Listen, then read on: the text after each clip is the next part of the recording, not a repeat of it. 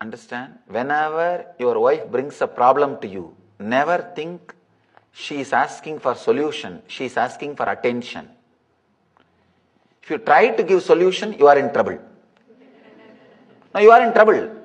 She knows much better solutions. All she wants is you need to listen that problem completely and act as if you do not know the solution. She will tell the solution. Then you have to, ah, yes, yes, yes. See, this is the right solution. You are very intelligent. Do this, you will never be a failure.